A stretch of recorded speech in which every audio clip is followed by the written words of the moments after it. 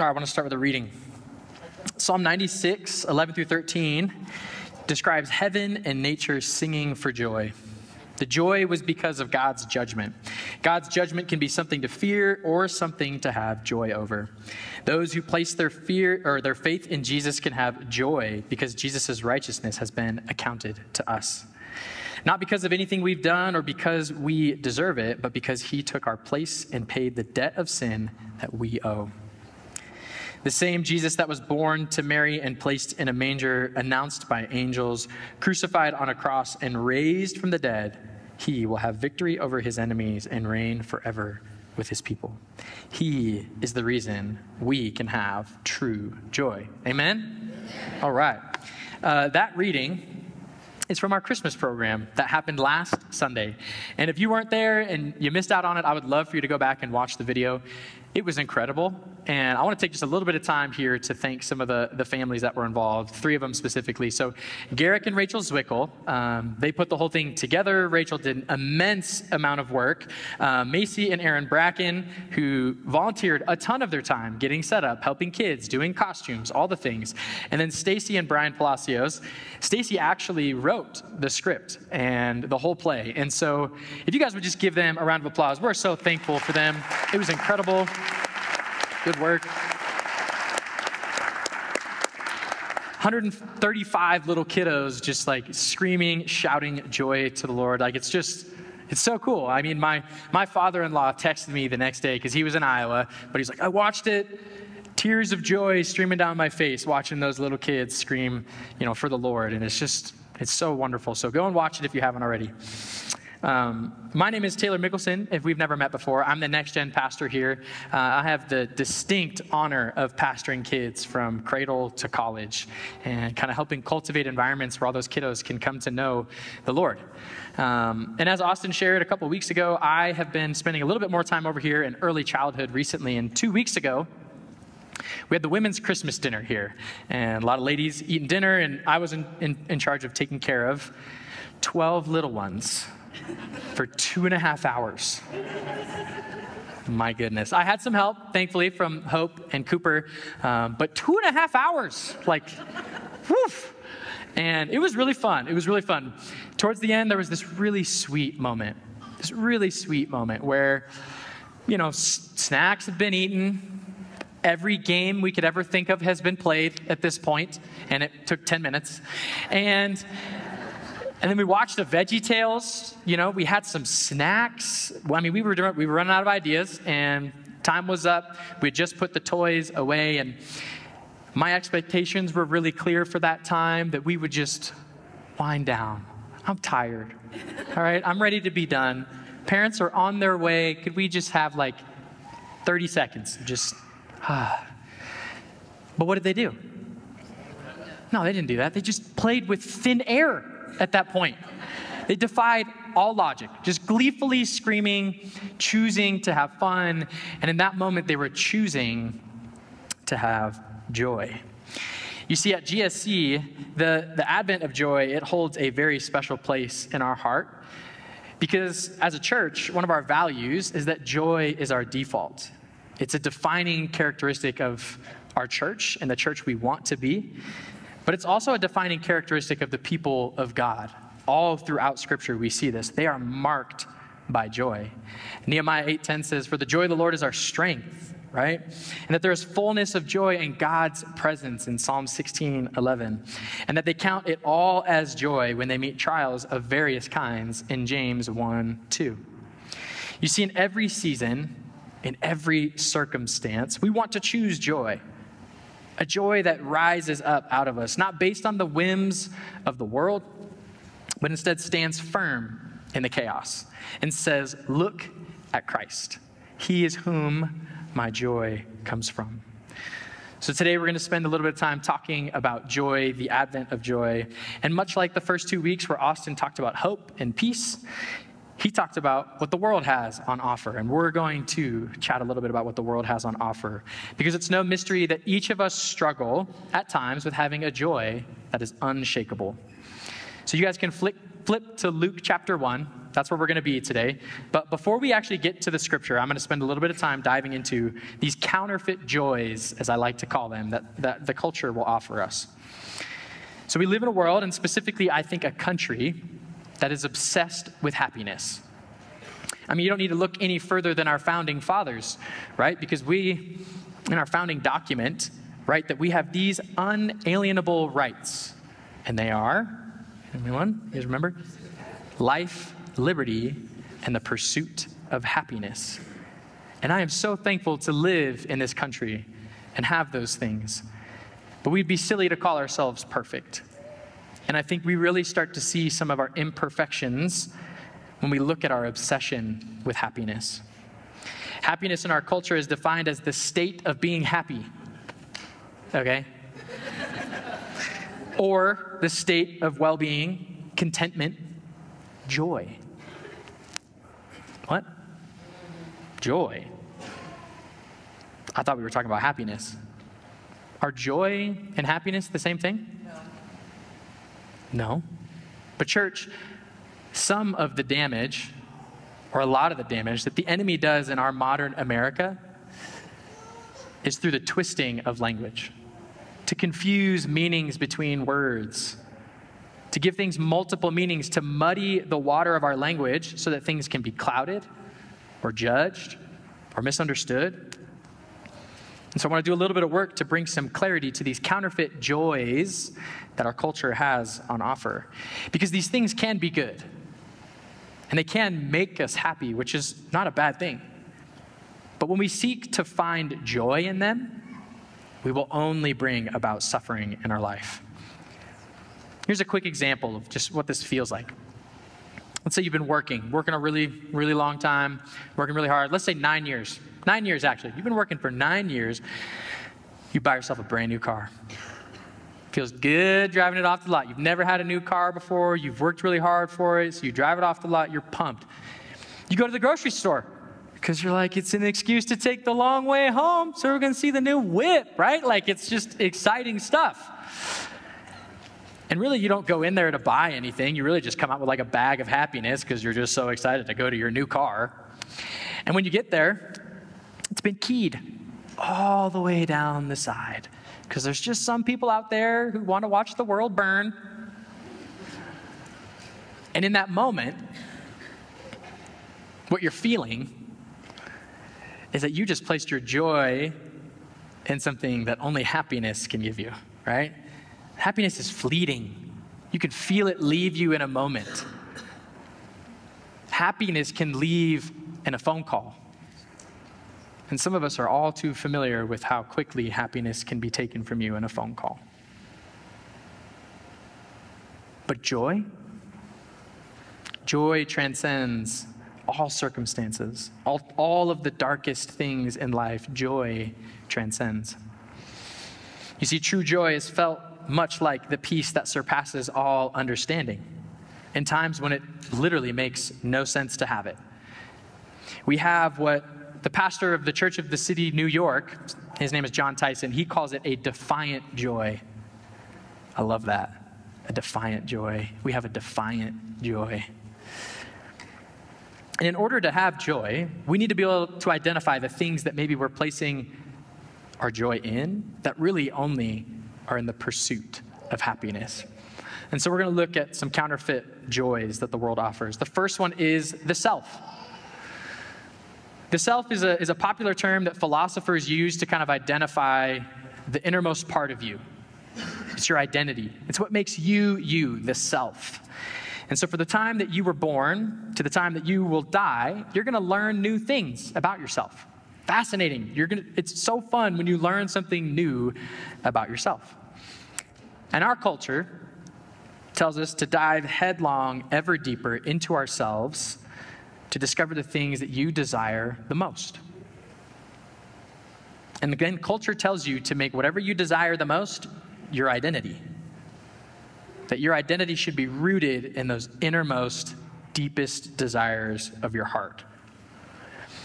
And one of the, the most alarming narratives in popular culture that has been brought up recently is is in this show called Dexter. Is anyone, is anyone here familiar with the show Dexter? Yeah, okay. Some of you? Great. Dexter, if you don't know, is a show about a guy who has the deepest, most innermost desires of his heart to kill other people. That's his deepest desire. And the show is all about how he exercises that deepest desire of his heart. And the dad in the, in the show is like, instead of being a dad, saying, hey, you know what? Dex, I don't think you should be killing people. We should probably find something else that you can do that's a bit more constructive. He finds a way to let Dex exercise this skill or desire that he has to kill criminals, which those people are still made in the image of God. It's not our right to just take their life. And in a lot of ways, this, this story signals what I think we've seen in our culture, where there is nothing too dark, there's nothing, no desire too strange, that you can't find a group of people to affirm it and say, That's who you are. That's the most important thing about you. I affirm what I see in you. And you're like, Taylor, I've never heard of this show. Must be new. No, it started in 2006, ended in 2013, well before we got to where we are now in society. So maybe you've done the self discovery thing. You found your deepest desire, you put your identity in it, right? The next thing to do is to find community. Find people who affirm that identity in you. Well, well, if you do that, you might find some people who don't agree with you. And no matter how they, they do it, no matter how they share, hey, I think you might be a little off, they're labeled as hateful and mean because they're not willing to affirm who you are and what you stand for. And it's because moral forces are the enemy to my inward found desires and identities. Because culture has sold the lie that you aren't alive unless you get to do you. But here's the problem when you live this way, when you take something that, that can't hold your identity and try and shove it into it, it's eventually just going to isolate you. You're going to create this little island that you, that you put yourself on because nobody can challenge you. No one can try and correct you or admonish you or help you by saying, hey, I think you might be a little off here. Can I help you because I love you? I see something off. So you put yourself on this, this island of loneliness. And you've made yourself your own God because you get to deter- determine what comes in and what goes out. You know what I know about humans? We make bad gods. and it's because our desires change, they change over time. And I like shoes. A lot of you here, you know that I like shoes. I really do. I, I like shoes. I like everything about them. I like the advertising. I like the technology that goes into them. I like the materials. I like the decision making that goes in behind them. But I can't just force my identity into something that I know is going to change almost immediately. And I love to spend free time. I like to spend some free time into looking at shoes because I'm into shoes. And Sarah's oftentimes like on the couch with me, just like three or four feet away, sitting there. I've got my phone, I'm looking at shoes. And this is kind of how that usually goes. Oh. babe, babe, babe, do you see these? My birthday, nine months. These are the ones. These are the ones. Oh, those are amazing. No, wait, no, actually, it's these. No, it's these. Babe, it's these. These are the ones we have to do for Christmas. You know what? Actually, I think I want these ones more. We're going to just order them for Christmas. Can we do that? Can we do that right now? Now, I make light of this, but it's just to show you that our desires change as humans. It's natural for our desires to change. And do you see how dangerous it could be to set up your identity, your whole way of making meaning, in something that can change, like our desires? You see, when we make ourselves our own God, we set ourselves up for suffering. See, trying to create a life on something that can be swayed by the winds of culture, man, it sounds like a life filled with depression and anxiety. And I do not think it's a coincidence that we live in a history high level of depression and anxiety, while we also live in an all time high individualistic and rationalistic time. You see, the world offers a counterfeit joy through the glorification of ourselves. So that's our first counterfeit joy. Number two is material possessions slash others. This is another popular one. This is a counterfeit joy offered to us by, by culture. You see, this happiness is based on the meaning or the approval that we find in others, whether it be in a spouse or a friend or a group of friends, work proximity associates, whatever you want to call them. The world is quite literally trying to sell us this happiness right into credit card debt and right into foreclosures. If you're driving a car that you can't afford, or a home that you can't make payments on, or buying brands that keep you in the hole, and it's time to evaluate if you're giving, you're trying to place your joy in what other people think of you. Because the way this works is you buy something, someone says, hey, that's a really nice sweater. Oh, thank you. Ah, oh, that feels so good right now. 30 seconds pass by and you're not happy anymore. That's how it works. And so what do you do? You go and buy the next thing. Oh, you're, gosh, did you get a new lawnmower? Front yard looks amazing. And then that's gone in like 30 seconds. So you go and buy something else. And this is a continual cycle that our world will feed you because if you're placing your joy in material possessions, it's always going to run out. We know that money can't buy us happiness, and yet our like entire economy is kind of built on it. And then you might try finding joy in the people of your life, placing your expectation or desire for a deep, lasting, fulfilling joy in your spouse or your friend or that community of friends but it will crush them. Because those places were never meant to hold joy for you. They can't sustain it because they're human. And as we already know, humans do not make good gods. The opinion of you, their perspective of you, the things that they say about you will not save you. It's only the work of Jesus on the cross that can save you. And so we have to be vigilant. We have to be paying attention making sure that we aren't trying to place our joy in places where only happiness is found because suffering will follow soon after. And then the final one this is one that most people who grew up in a Christian home are very familiar with. It's religious works.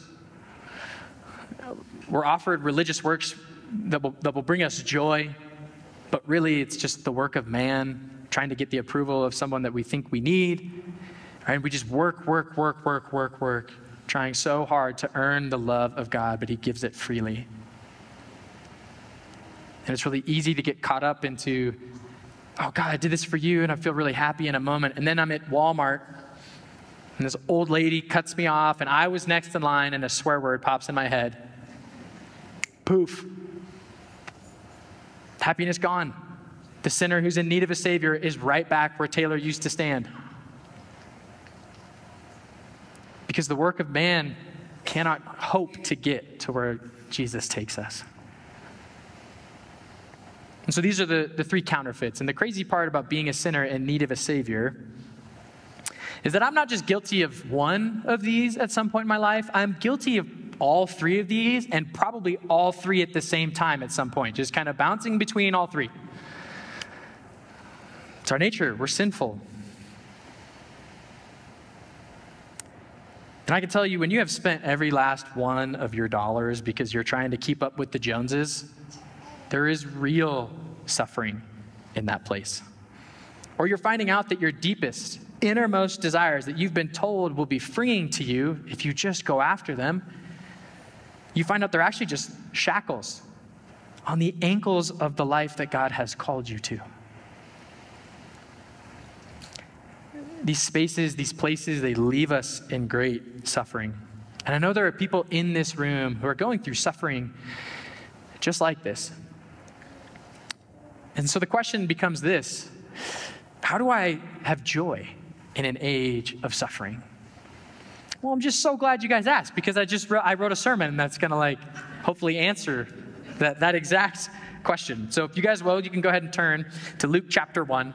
We're going to be in verses 39 to 55. So it's a pretty long stretch. And no, this isn't the traditional Advent reading. That's what Robin gave us this morning. Um, Austin used that for peace last week. But I think, I think the Lord has provided the perfect passage for us today. So before this section, there's a couple of things I want you to know. I want you to be clued in on. So the first one is um, the birth of John the Baptist foretold. Okay, so this is where we, we meet a woman named Elizabeth and her husband Zechariah. And an angel of the Lord appears, Gabriel, saying that her baby is going to be a big deal. It's going to make way for the Messiah, the coming Messiah. And she's old at this point, but the angel says, but the Lord is going to bless you and you'll be able to have a child even at your old age. And then the, and then the angel tells her the name of the baby, John. I mean, that's no joke right there. That's pretty cool. It's an amazing story. The following story, the very next story in Luke, is called this Birth of Jesus Foretold. Guys, I'm an English teacher. This is basic, okay? We got parallel structures here. Luke is trying to tell us something important is happening. Okay, he placed these next to each other for a reason. It's really cool. And I bet you can guess how this story goes. An angel of the Lord appears. Yes, his name is Gabriel. He's going to help her have a baby in a miraculous fashion, even more miraculous than Elizabeth.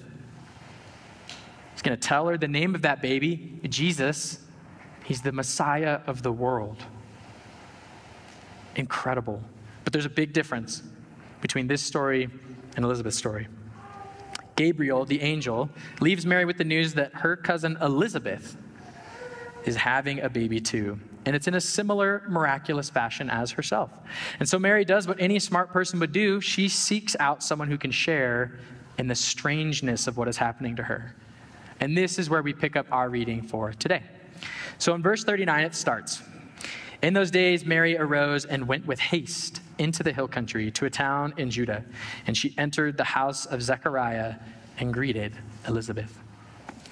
So, some scholars believe that Mary went to Elizabeth because she would have grown up in a town in, in Nazareth, and there wouldn't have been any really agreeable company or uh, any agreeable company to, to have this conversation with that she's about to have with Elizabeth. And so she traveled to go see her cousin to have this conversation.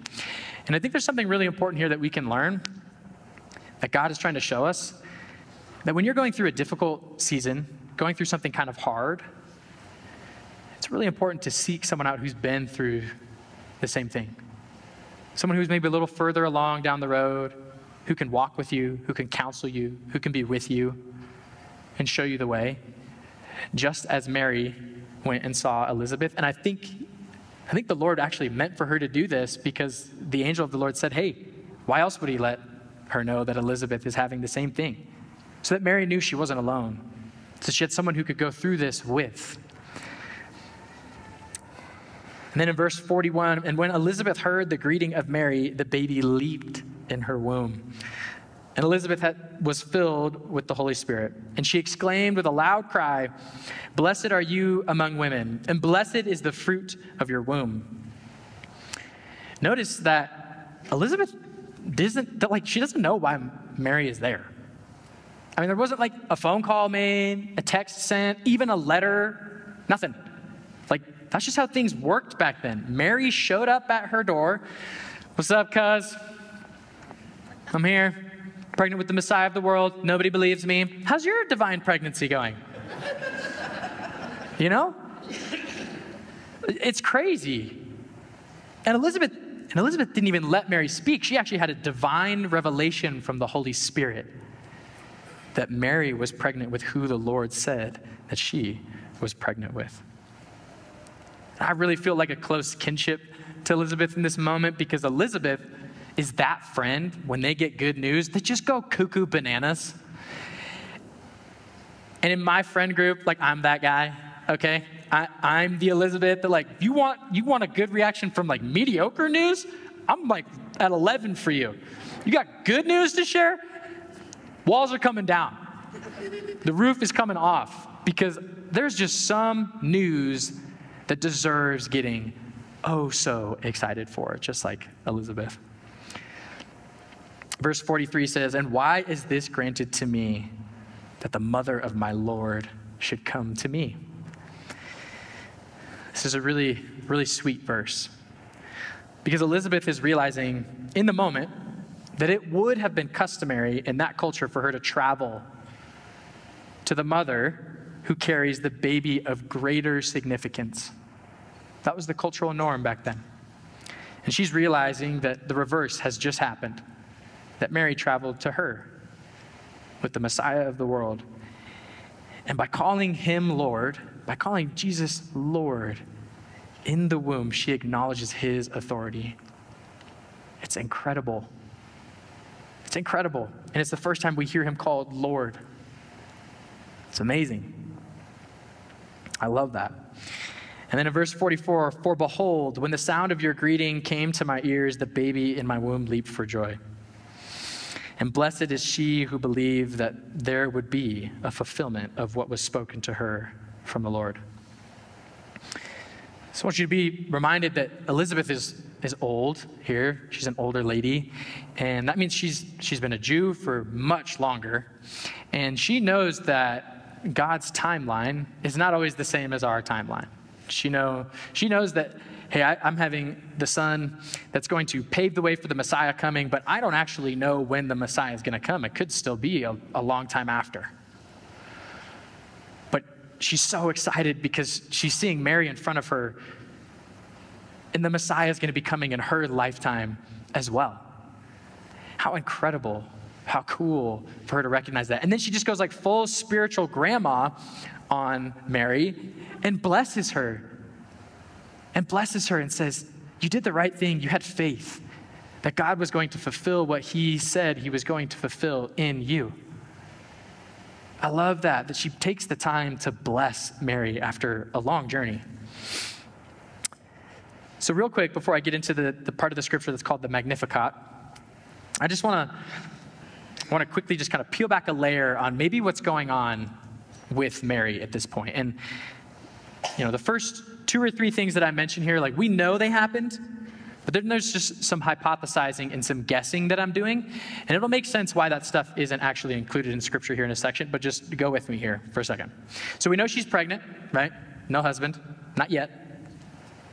We know she traveled anywhere between a week and a month to get to Elizabeth. That's what scholars have determined. And then that she's having the Messiah of the world. Okay? No pressure. Make sure you're eating your greens and doing all the right things, Mary, because that baby's real important. And then, this is where we kind of get into me guessing. To top it all off, she becomes that woman in her community. That woman that somehow got pregnant. Oh, you just accidentally got pregnant. Like, how did that happen? We don't believe you. And then she's traveling in the first trimester, no less.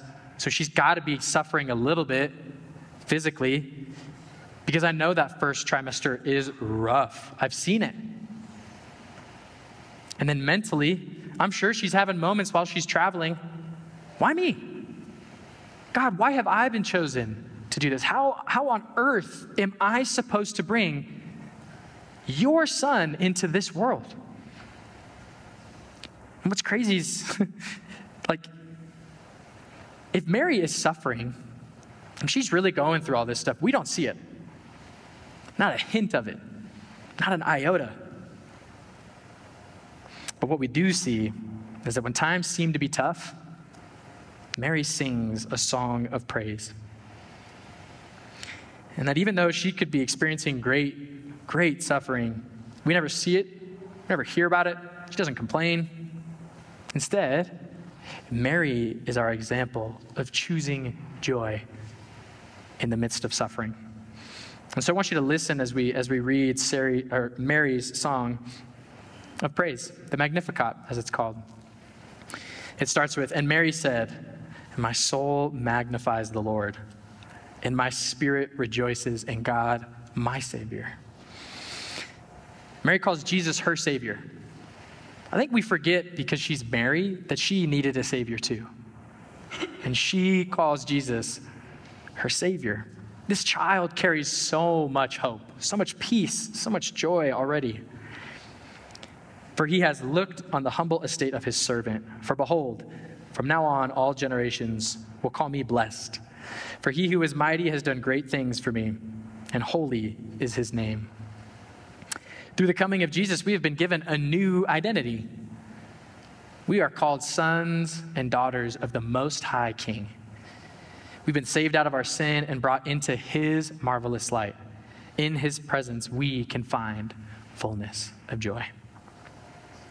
And in verse 50, she continues, and His mercy is for those who fear Him from generation to generation. And we can have joy that the coming of Jesus represents not just the coming of the creator and the judge, which that's what it is, but also the, the coming of the mediator and the advocate. Jesus becomes the perfect priest for us, mediating on behalf of us to the Father with his sacrifice on the cross and his ascension and in his ascension to the right hand of God. And then the sending of the Holy Spirit to be our advocate, to dwell within us until Jesus' return as the perfect judge of all mankind. He has shown strength with his arm. He has scattered the proud in the thoughts of their hearts. He has brought down the mighty from their thrones and exalted those of humble estate. He has filled the hungry with good things, and the rich he has sent away empty. Mary is hinting already that Jesus is not going to use the chief priests and the kings to bring about his new kingdom, his upside down kingdom. Instead, he's going to use the weary and the heavy laden who can find rest in him. He will use the thirsty who come to him for a drink. Jesus is not interested in saving those who think themselves already saved. Instead, he comes for the hungry and he will fill them with new things. So cool. And then she ends with these last two verses He has helped his servant Israel in remembrance of his mercy as he spoke to our fathers, to Abraham, and to his offspring forever. These last two verses are so full of Old Testament promise. And it reminds me of one of the most impactful sermons I've ever heard in my entire life, and it was by a woman named Jen Wilkin. And if you want to hear what the name of the sermon is, just come up. i would love to chat with you about it. And in that sermon, she talks about how God uses women all throughout the Bible to thwart the schemes of the enemy. And it all starts all the way back in Genesis chapter 3 when God promises to the serpent that the seed of the woman will be responsible for crushing his head. And so, Hebrew women, for centuries, when they had a little boy, they would all ask the same two questions Is this he? Is this the one who's going to crush the head of the serpent? Is it finally time? And I want you to imagine the joy, the joy unspeakable for a people group who are at the beginning of realizing that that Messiah is here. The time has come. Joy has arrived. I love the Magnificat. And in it, we see how Mary, she chooses joy as the song moves along. And so we've got two things that, just real quick, I want to talk about Mary's response. Mary's first response is gratitude for Jesus. This is, this is so awesome. She's already thanking the Lord for Jesus while he's barely, like, probably even the size of a peanut yet. And she's not just thanking the Lord for Jesus for her, she's thanking for Jesus for all of mankind, for all of the things that he is about to do. And it drums up joy inside of her because she is grateful for the things that she knows the Lord is going to do through Jesus. And the second thing we see is that God is faithful. Mary sees the fulfillment of a promise to God's people through the coming of Jesus, and she reminds herself that if God was faithful then, then he will be faithful now. And there is great joy in recognizing that God is faithful to the end. Mary just so perfectly, so perfectly reflects choosing joy in her time of suffering. We too have the opportunity to choose joy in our present suffering. Because Jesus has come, He dwells within us. We have chosen Him. We're going to move into a response time, but first, I'm going to. I'm going to release you from watching me do the most nerve wracking thing. I'm going to speak on Austin's behalf. It is like, you've seen him, he's shaking with the match. Like, we all know. it's nerve wracking to light these candles in front of you guys, okay? So, we're going to put the response questions up there. And I want you to spend some time. Jaden's going to place the keys kind of over this, this time, and, but reflect on this.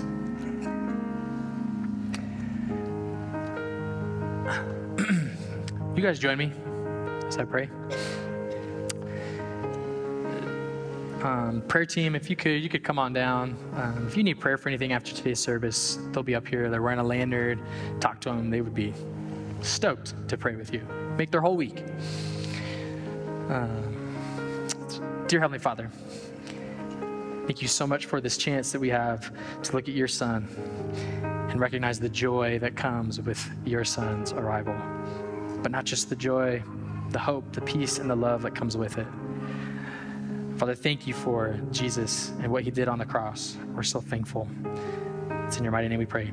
Amen. So we have Christmas Eve next week, but really quickly, I actually want to read a benediction over you guys, if, if that's okay. Um, will you guys stand? And if you wrote down one of your stories um, on one of those pieces of paper, would you please uh, put it in the basket just outside these doors? Um, so, over here in early childhood, we've got a take home point of the month, which is God gave us Jesus. Simple, beautiful, elegant. I love it. God gave us Jesus. And in giving us Jesus, He also gave us hope, peace, joy, and love for the first time, we, act- we actually got to encounter it in a way that God meant for us to encounter it. And joy is our default here. And so I want to read this over you guys and send you out this week, knowing that we are called to be marked by joy. As the people of God, we should be carrying joy into every space and place that we have. So I want to encourage you to take it this week. We've been saved by a loving God, forgiven of our sins, and empowered over the prince of darkness. Jesus has made us uniquely and gifted us with amazing gifts. He has placed us intentionally in this moment of history to be more than conquerors in His name. With all of these truths, how can we not be a people marked by a deep, unshakable joy? Not all of our days will be good, some will be sad, and some will be hard, but we will, in every season, choose joy. We will let the unshakable reality of Jesus remind our souls to be a joyous people who dance, sing, and shout for our amazing God. Go and be joyful this week. We love you guys. We'll see you next week for Christmas Eve.